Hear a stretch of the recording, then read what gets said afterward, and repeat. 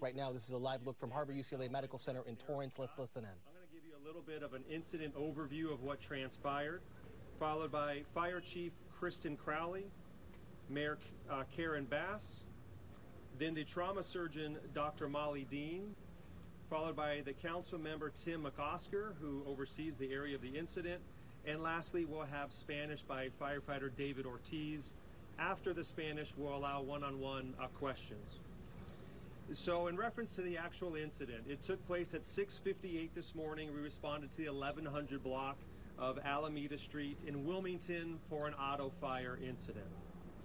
When we arrived on scene, we had a semi truck and it was a tractor, no trailer, that was on fire. However, the unique aspect of this is that the truck was not powered by the usual fuel like diesel or gasoline. It was a clean air vehicle. It was powered by compressed natural gas or CNG. So it had two 100 gallon tanks that are under 3,300 pounds of pressure, and those tanks are mounted on each side of the vehicle to power it. So, uh, per usual protocol, we had a total of 10 firefighters that responded to extinguish this fire. However, six minutes after arriving on scene, one of those CNG tanks exploded. And it tragically injured nine of our members, two of them critically. Now, the truck driver, who was an adult female, um, fortunately was not injured. She noticed some abnormalities of the tanks. She exited, called 911, and uh, she remains on scene cooperating. But we do have two critical firefighters, four in moderate uh, injuries, and three that had minor injuries, totaling nine.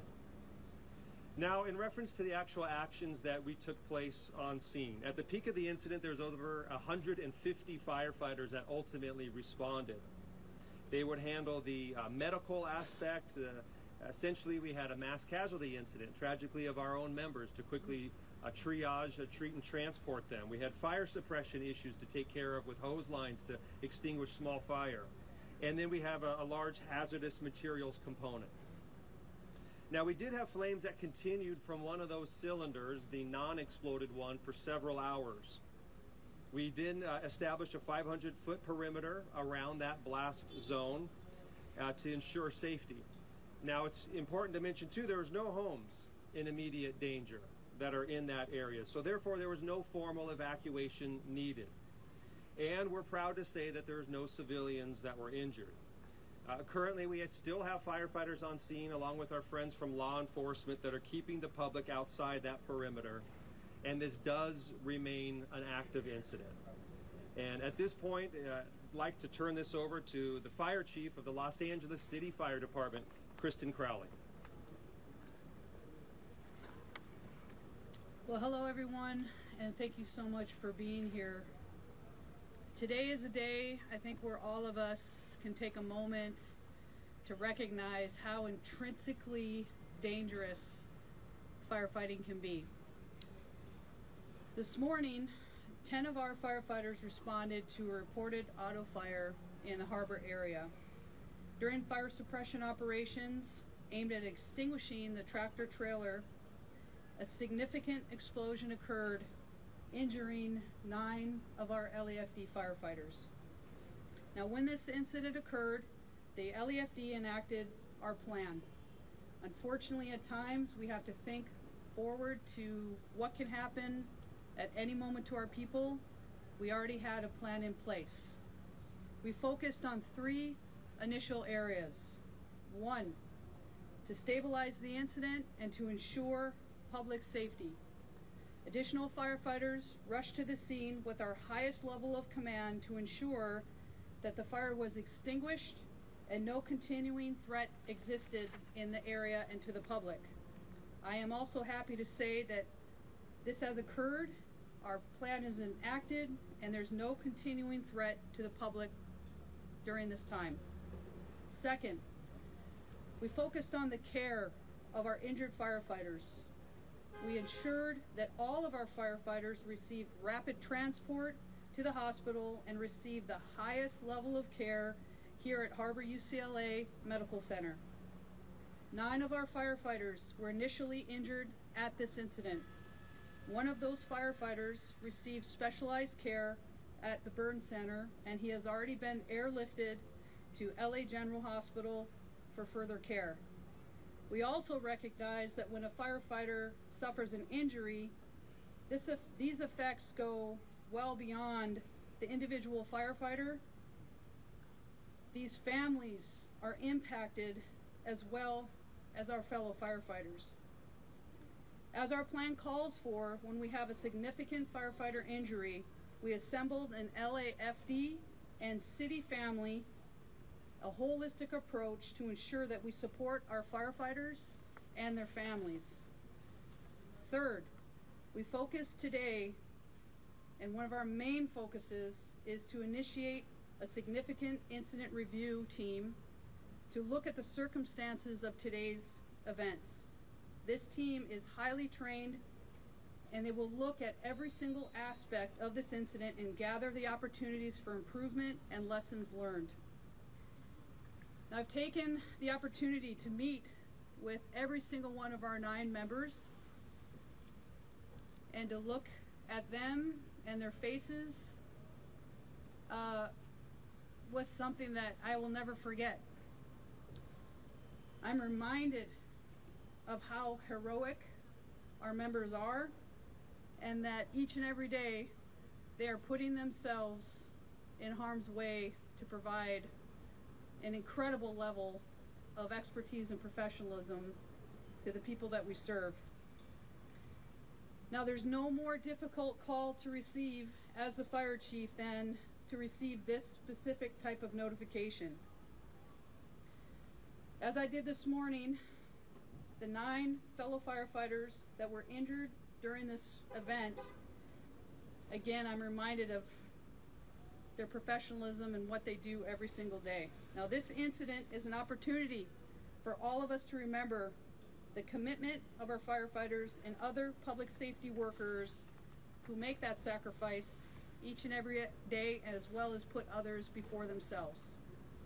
I would like to thank all of the LAFD members, the hospital staff, other public safety members, our elected leaders, including Mayor Bass, our council members who are here for coming to support our firefighters and their families in our time of need. To the public, we thank you for always allowing us to serve you.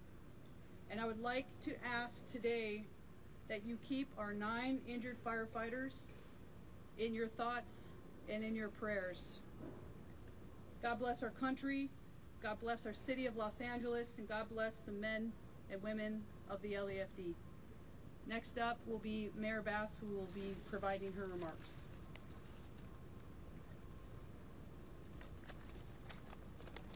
Thank you, Chief Crowley. This is a difficult day in Los Angeles. I want to thank Chief Crowley for her leadership in these difficult times. We've been in touch throughout the morning, and I've also been in touch with the, the union leadership as well. I'm here with a simple message to our firefighters in the building behind me and in fire stations across our city watching the news this morning unfold. The 4 million people of Los Angeles stand with you. While Angelenos were barely waking up and making their first cup of coffee, our LAFD firefighters were courageously responding to this blaze, putting their lives on the line to protect each one of us as they do every single day. I want to acknowledge the families of the firefighters who were injured this morning and all of their firefighter colleagues. Our thoughts are with you as we all hope for a rapid recovery for all involved. And I will say that Angelenos are offering their thoughts and prayers as well for you who are injured, your families, and all of LAFD today. What happened this morning is a risk that our firefighters take every single day. And again, we are grateful as a city and as a region for their service. I know some of our firefighters that were injured this morning are in various states of surgery and recovery. And I will say that there is no better staff than the one here at Harbor UCLA Medical Center and LAC USC Medical Center. I want to thank the nurses, the doctors, the surgeons, everyone working together to respond to this incident, and led by our next speaker, Dr. Molly Dean, who is the trauma surgeon here. Dr. Dean. Thank you, Mayor Bass. Um, at approximately 7:21 this morning, our facility was notified of this mass casualty incident that had occurred over in the harbor. We were notified that we'd be receiving multiple patients. Shortly thereafter, the two critically injured arrived. An additional seven patients then followed. Those patients were evaluated for burn, blast, and airway inhalational injuries and stabilized. One of those individuals required intubation and was transported to LA General, which is our local county burn center, one of three in the county. Um, after the patients were able to be stabilized, I was actually able to visualize some of the footage to see the blast injury that had occurred to these patients. And frankly, it's remarkable that none of them were more severely injured after watching the footage. Um, most people should actually do fairly well. They've been stabilized, and I don't have additional information on their injuries. Um, we were also fortunate that this occurred close by. Patients arrived very quickly. Multiple staff members were at the ready to assume care of these patients and get them triaged as quickly as possible. Thank you.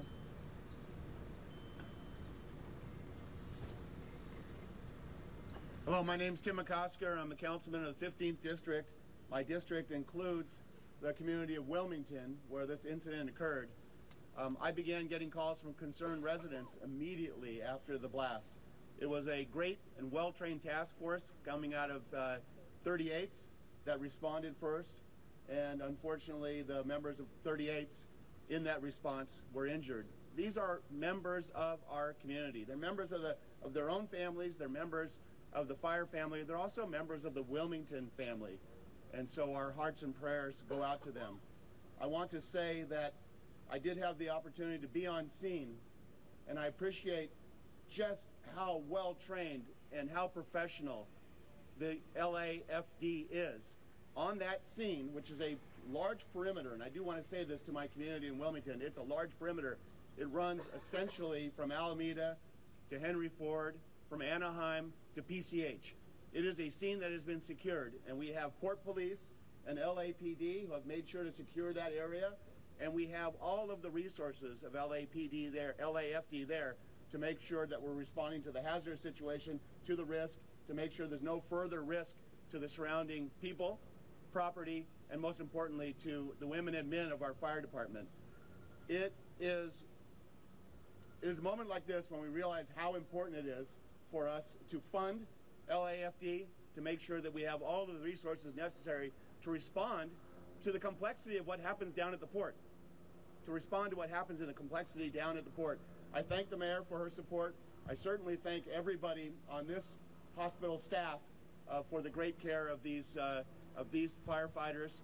And I will say, as the son of a firefighter and the father of two firefighters, this is a day that you never want to hear of.